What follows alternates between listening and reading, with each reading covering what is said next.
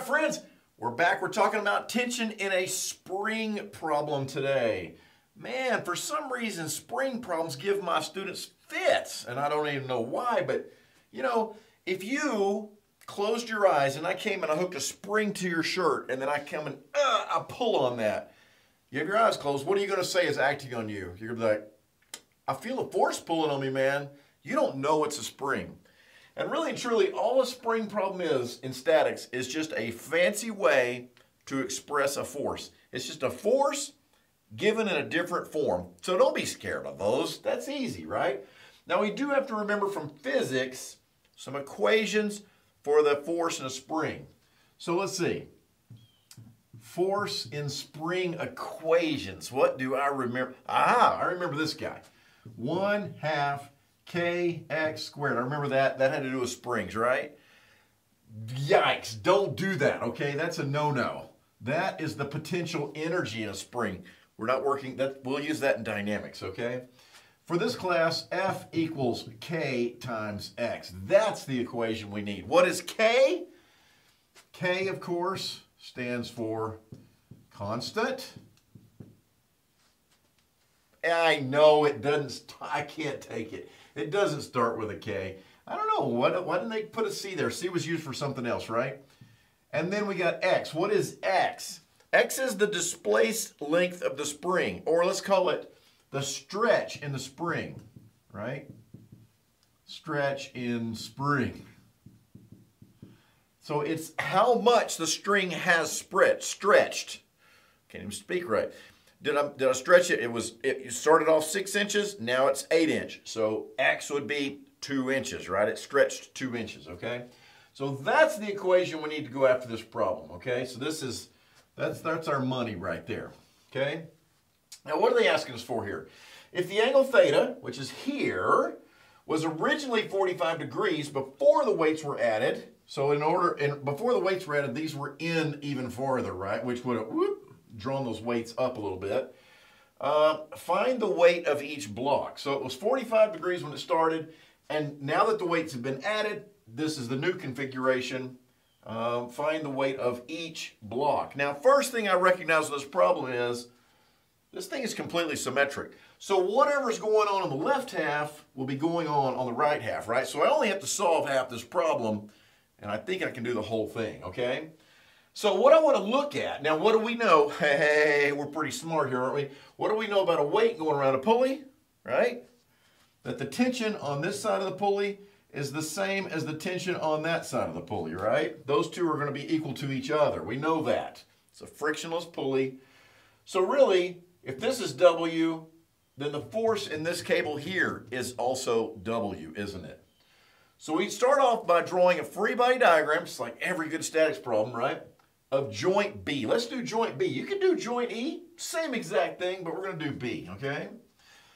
Now, if you're smart, pause the video and work it along with me. Skip the end, see if you get the same answer I do, but let's go. Okay, joint B. What's going on joint B? Well, I've got cables attached to me, and I know that cables can only pull. Okay, I'm going to call this guy Fs for force of the spring. I'm going to call this guy W. We just talked about that, right? And I'll call that guy, I don't know, FBA. Okay? Now, can we come up with some angles? Would that be okay? Okay? Now, the A is in the same line as C, right? So this uh, little triangle right here is 12 by 8, which means my current angle theta, my current angle theta, right, is, I can use tangent, right? Tan theta equals opposite over adjacent, 12 over 8, right? Let's see what that is. 12 divided, clear, clear, 12 divided by 8 is 1.5, and then the inverse tan of that is 56.3 degrees. So theta is currently 56.3 degrees, okay? So that is this angle here, 56.3 degrees, right? What about this angle right here? What is that guy? I might need to know that. Let's see, this side's 16, that side's still 8. So that's 2, right? So tan theta, tan equals 16 over 8. Here we go. So inverse tan of 2 is 63.43 degrees. So this theta, not theta, let's call him, him something different, please. Okay, he's alpha. He's smudge now. 63.4 degrees. Okay, so this guy right here is 63.4 degrees. Okay? Still, this is a 2D problem. I have two equations, the force in the x and the force in the y, but I have one, two, I have three unknowns. That's ungood. Maybe we can use this information right here to determine what the original length of the spring was. Okay, so before the weights were added, this angle theta was 45 degrees. Now, Will this 12 inch length here change? The answer to that question is yes, it will, because as this spring retracts, right, this length here, this is the only thing from D to E or from A to B that won't change, right? But this is going to rotate upwards. So 12 is going to get shorter, right? And this length down here, this 8, right, is going to get longer. But what won't change is the length of that hypotenuse. Can we find that out right quick? How about this? 8 squared plus 12 squared square root would equal that hypotenuse, wouldn't it? Because what we're talking about, we're getting a new triangle here that looks like this. This is that hypotenuse, right, which, which the length will not change. And this angle is 45 degrees.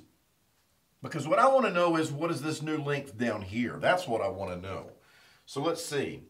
8, oh, clear again. 8 squared plus 12 squared equals square root of that equals oh, 14.42. Okay, so the hypotenuse is 14.42. That doesn't, that's, that's not going to change. That length there, or that length there, as this rotates, will not change. Okay, so what is this length down here? Let's see, I know the angle, I need the adjacent side, I know the, that's cosine, isn't it? Cosine of 45 is equal to adjacent, which is what I'm looking for, divided by hypotenuse, which is 14.42. So x is equal to times 0.707 equals 10.2. Okay? So this length, when it's 45 degrees, is 10.2 inches, okay? Well, if that's 10.2, it started out at 8, so how much did it did the spring retract just on this half over here? Let's see. It went from it went from 8 to 10.2, so how about 2.2 inches? So the spring came in 2.2 inches over here, ooh, and 2.2 inches on that side. So the spring stretch was a total of 4.4 inches. Do you getting that? Okay. 2.2 from this side, 2.2 from that side, which is 4.4 inches. That is the stretch in the spring, okay? Now we know the spring constant. Okay, here you go, pitfall of the day. Watch out for this, gang. These problems will give you the spring constant, like in inches, and then give you all the measurements in the problem in feet watch out for mixed units. Or in newtons over meters and then give you all the dimensions in millimeters. Watch for, don't, don't fall for that trap, okay? Okay, so x equals 4.4 inches. Let's use this equation to come up with the force in that spring. So F is equal to K. Now this one doesn't have mixed units, does it? 100 pounds per inch times 4.4 inches equals, I got it, 440 pounds, okay? So that is the force in the spring, okay? 440 pounds, okay? You got to be careful on that, man. That's that's tricky. You know, you might say, "Oh, that 12 never changes, so this guy goes to 12 when it's 45." But it doesn't. That that length there is the only thing that remains constant. Be careful about that. I hope you followed that. Okay? Where all that came from. Okay, now that I know this, now what do I have? I got the world's simplest statics problem here from last chapter, right? We should be able to solve this, right? Sum of the forces in the x equals zero. What do I have in the x direction? Well, I've got 440. Okay. And then I've got minus FBA, what? Cosine 56.3, right? I'm erasing this. Okay, that was my hypotenuse. Minus the cosine of this one, got this guy here, W cosine 63.4 degrees, okay? There's one equation. Now let me just let me just rewrite that equation. I'm going to take these two negatives, move them to the other side. I'm going to get this. FBA cos 56.3 plus W cos 63.4 equals 440. Okay, just rearrange that equation. You know why? Because this equation has two unknowns. I bet my y equation is going to have two unknowns in it, which is a perfect job for my system solver. You could use the substitution method and a little bit of algebra, but you know, when you got a calculator that'll do it and it doesn't make algebra mistakes, that would be, would kind of be silly to do, wouldn't it? Okay, so the, the last equation is this guy. I've got FBA going uphill times the sine of 56.3, okay? Yeah, just remember these guys have components here and here and here and there. That's what we're doing is we're, we're adding those components up, right? So plus W sine, oh, not plus. He's going downhill. That's a minus. Oh, Dr. Hanson, you almost messed that up. Okay, 63.4 equals nothing else in the y, so a big fat zero, okay? So again, I have written, I've got my two equations here, and I have written them in columns. So I have this column, and then I have this column, okay?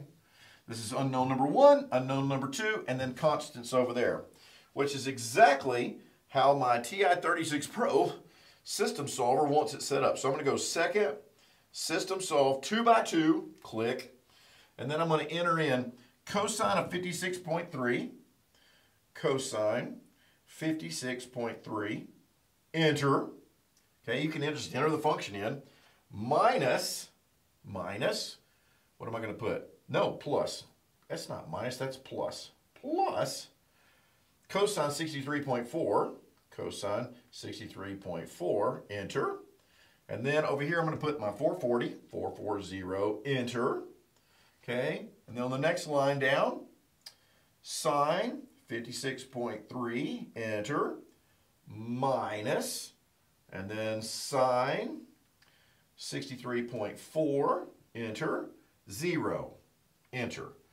And then just click solve, bam, and it gives you the answers, doesn't it? FBA, which is X in my calculator, is 452.9 pounds. And W, which is Y in my calculator, right, is 421.4 pounds. Okay? And that is how you do that, right? So the hardest part about this was taking this force in the spring, which was actually given to us, but just in a really weird way, right? We had to do a little bit of a little bit of geometry to come up with the stretch in the spring and multiply by the spring constant to get that force. Now, here's a question for you. Do I take this W, do I divide that by 2 and like that's half of it and that's half of it? No. This W is 421.4. That W, 421.4, okay? I hope you don't mess that up. All right, I hope this helps, and I'll see you on the next lesson.